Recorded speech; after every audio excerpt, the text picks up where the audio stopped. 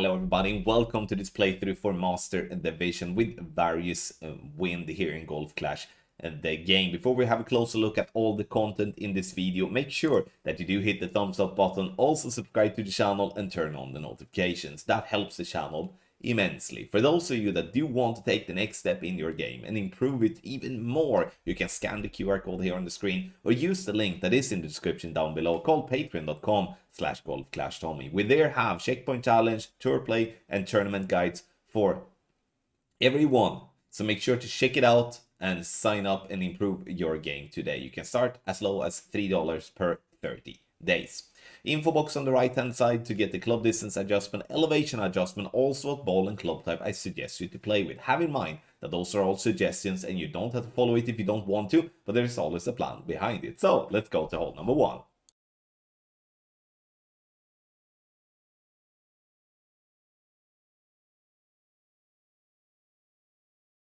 For option number one, it's an NMT, and we're going to uh, start with an NMT and a power 3 ball. You can uh, play with many different type of topspin boost balls, but I do have a lot of face-off balls, and I do decide to play with that one. I just max no elevation P3, and we're gonna add the three topspin boost bars with the max topspin and one right spin, and this is with a POC uh, 7 and 8. For a POC 5 and 6, we will have instructions in the slide on how much extra topspin boost to add. Pull back one and a half ring with a POC uh, 8 and 7 and pull back one ring with a POC 5 and 6. Two balls of right curl grid line to be going through the arrow at the center and then we are gonna go max over power with a slower needle. You can hit great left, great right and be fine. Here you can also choose to play with you don't have to play with a face-off ball. Would you have the digital ball, Would you have the smash ball, Would you have the virtuoso ball. There is so many different type of golf balls, and obviously, if you do play with, if you do play with a POC seven and a POC eight, that becomes even more uh, golf balls to suggest uh, to play from because you do have all the tops. A POC five and a POC six needs to be a little bit narrowed, uh, but that's why we also have an, an option number two. So on the wedge here, I do have notes for playing with the max top spin. I also have notes for play with the no spin, but I didn't have any notes for playing with a max top spin boost, which we will now be adding as well. Max top spin and top spin boost, this is for Endbringer 7 and Endbringer 8. I want the ball guideline to be through the hole here, very important. You can see there I'm going approximately one green square through the hole, very important. So now, sure, I do hit a great right, which brings me dead center, but I would say minus 50% elevation P2 numbers is what I would recommend to play here on this shot minus 50% elevation, P2 numbers, and obviously then true distance slider. Um, and then we should be, um, and then we should be in that case a very simple time of getting ourselves um, a drop with our wedge. When it comes to the Endbringer adjustment, we play no spin, 10% elevation, P3 numbers. And when it comes to a max top spin without the boost, Endbringer 7 and Endbringer 8, we do play minus 45% elevation P4 numbers.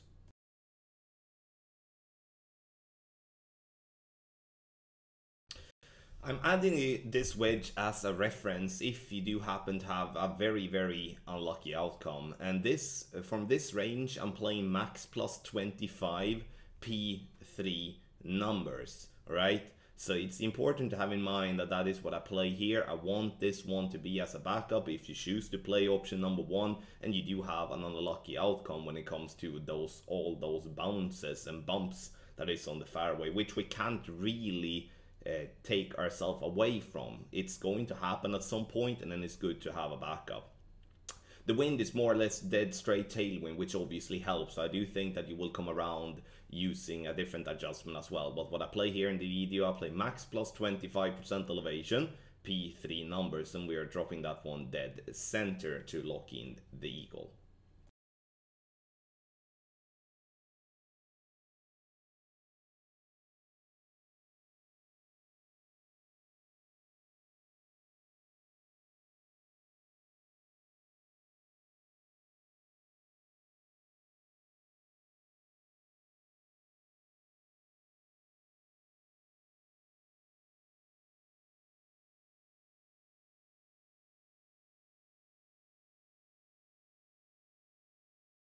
On hole number two, we are going to set up at the max P0 line.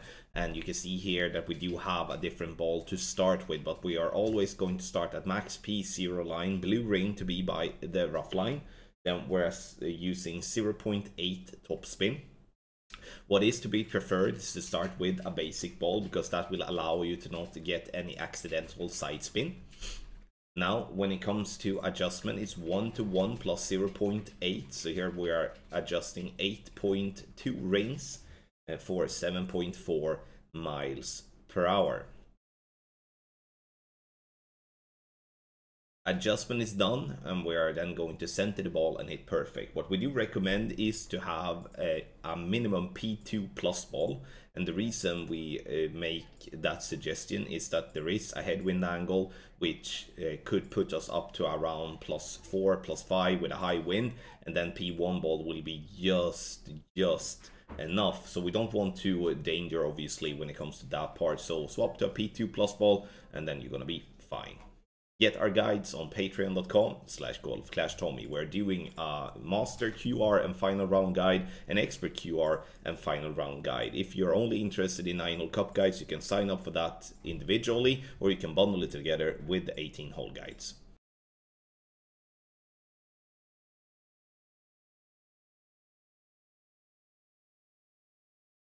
Hole number three, we're going to play an NMT to start with, so don't touch the target until it's time to adjust the rings. For a POC 7 and a POC 8, you can play with a Luminary, which is a win 3 and also free to play ball in Master. Max top spin and one right spin, and we're going to uh, make an adjustment that is max plus 15, power 5. Once we have done that, we're going to push up in rings. A POC 8 is going to push up 8 rings POC 7 7.3 rings and that's also going to be with a POC 6 and also with a POC 5 we're gonna push up 8 rings why the why the heavy push up with a POC 6 and a POC 5 this is to compensate for the lesser topspin that those clubs have.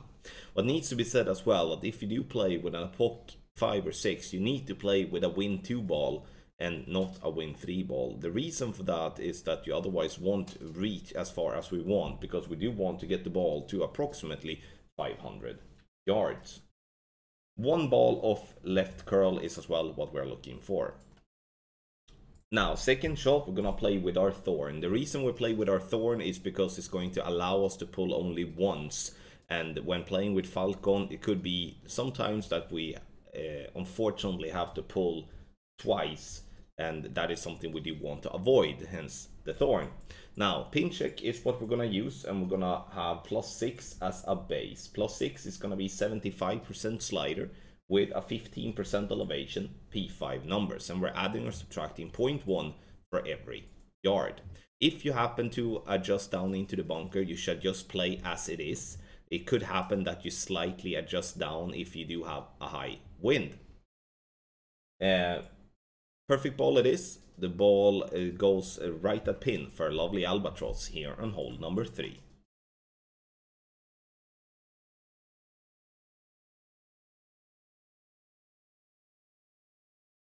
For hole number four, we're gonna play an NMT with a quarterback. Once we have done that, we're going to swap to Apocalypse and B52 bag. I'm gonna play seven top spin and one left spin. For those of you don't play that can't play with a POC 6 plus and only have a POC 5, then you're gonna push up one and a half rings after the adjustment. You're also going to apply inside wall left curl as we are going to be on a higher point and we need to use the curl to push the ball back a little bit left. Now we're going to play 100% uh, OP with a slower needle. Here, obviously, you can play with a ball that has more power than power 3, then the needle will be completely slow if it is a P4 or P5 ball. The ball comes over to the other fairway nicely and we're looking to be around uh, 370 yards approximately. Second shot is a B52. Here you can play with B52 level 5 plus because then as we're doing a rough bump, uh, the ball guideline will still be very helpful. Doing a rough line check is a back rough check. Uh, and then we are using one right spin and uh, two and two clicks of top spin. So we're gonna have the ball guideline to go plenty through. You can see here it's going plenty through the hole and we're also having the red ring to be just by the rough line. Now, alright, from plus 7 back rough check we're playing 10% slider with a 10% elevation P3 numbers, adding or subtracting 0.1 for every yard. Center the ball and hit perfect and uh, we do have a ball bounce into the rough and we drop it dead center for a lovely eagle here on hole number 4.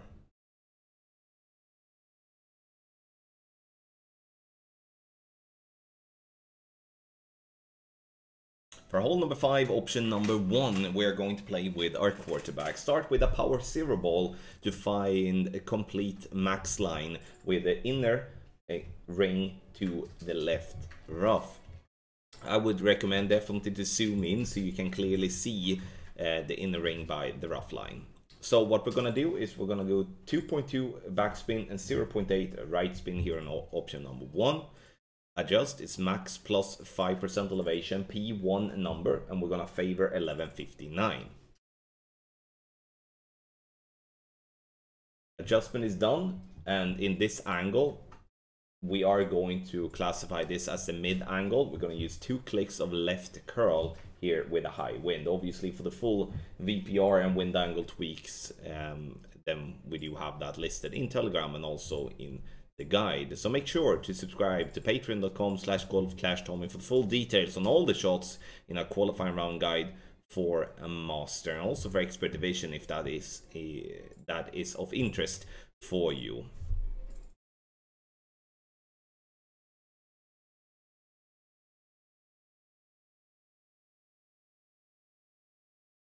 Here we are using an old slide with just some minor tweaks uh, and that is that we're going to alternate the left spin instead of alternating the curl as we have been doing before.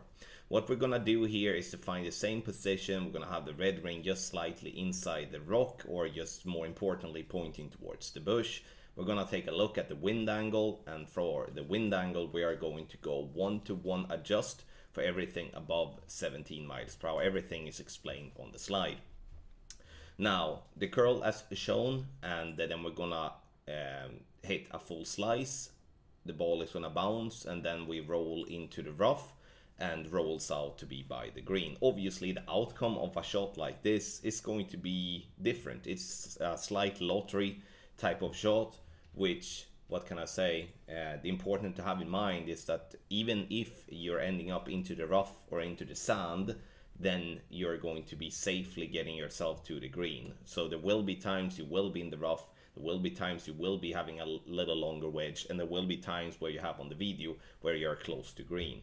And obviously that is the thing that we are that we prefer and what we want to be.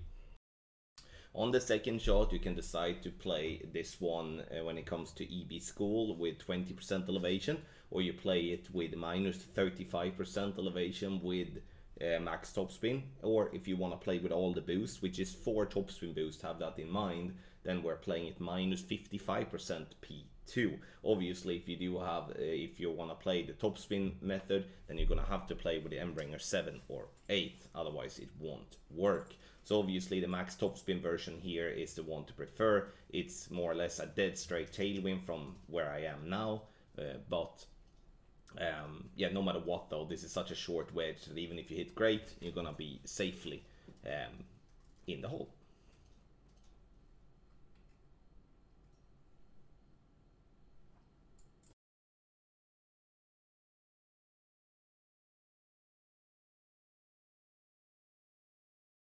On the drive on hole number 7, option number 1, we start with the quarterback at max P2 line, which is top of plus 10 white ring to be by the rough line to the right. Now we're swapping to an Apocalypse and also a Power 3 ball if you decided to start with a Power 2 ball. If you decide to start with a Power 3 ball, you need to just pay attention to start at the top of plus 10 instead of uh, the max line with P3 ball and quarterback. 7 top spin, 2 right spin, this is an Apoc 6 plus shot. Adjust max plus, uh, 10 P3. 0.8 ball of right curl with a slow needle and max OP slow needle. Try to hit perfect and the ball will then roll up to approximately 375 uh, what we're obviously looking for is to not be below 370 and we don't want to be above 380 either. It's not the end of the world if that happens, but for consistency's sake, this is uh, the 375 is, is a, a perfect spot where we want to be. On the second shot, start by moving to absolute min line, pack the grizzly to easier find the min line, and then we're gonna use two right spin to start with. We're pushing up rings from min to get the ball guideline into the hole with the third bounce to be just before the fringe. Once we have found that spot, we are going to go and respin. We're going to use half a bar of backspin together with a two right spin. And here comes also in that using two right spin on your ball, like having a ball with two right spin or two side spin is very important, I would say. Now, in this angle, we're going to call for one click of right curl as per default for mid and high wind, but for low wind, we're gonna use two. If we do a more crosswind, we are obviously gonna do different. Adjustment is going to be mid, so it's 50% slider, minus 10% elevation, P3 numbers, pushing up 7 or 8 rings. And the good part is if you do hit perfect on the drive, uh, we are going to see ourselves being somewhere around 7 to 8 rings uh, from min all the time. And then obviously we do have the table that follows up when it comes to uh, the um, when it comes to uh, uh being a couple of uh, rings too far away or a couple of rings shorter and stuff like that. But obviously for full details, you sign up on patreon.com slash golf clash Tommy for the best guides on the market for pro, expert and master.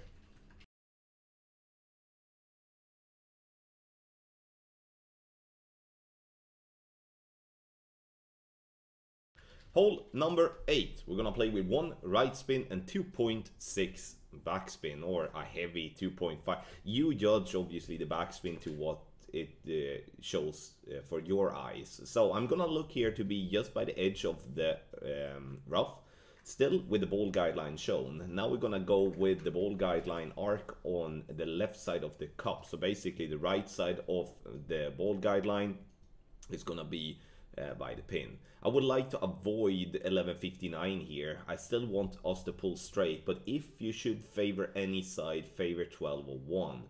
In this angle, uh, we do have a high wind first and foremost, and let's talk about the adjustment. It's 1 to 1 minus 0 0.3, so I'm adjusting um, 8.2 rings. This is an angle here that I judged as an in-between angle. I played two clicks of left curl due to the fact that we are having a high wind. Obviously, all the wind angle tweaks will be listed in Telegram, but also in uh, the guide. In my opinion, this is a really good chance. When it comes to what ball to use, you can use even a power 1 ball.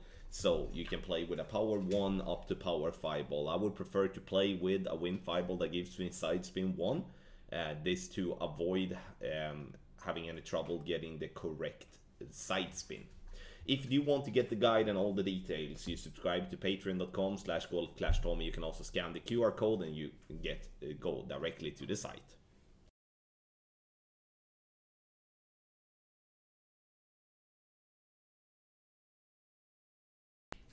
On the drive, start with a power 3 ball in NMT. Then we swap to uh, this ball here season 51 ball if I'm not mistaken. We're gonna use all the top spin boost and the max top spin. This is for Apoc 7 plus.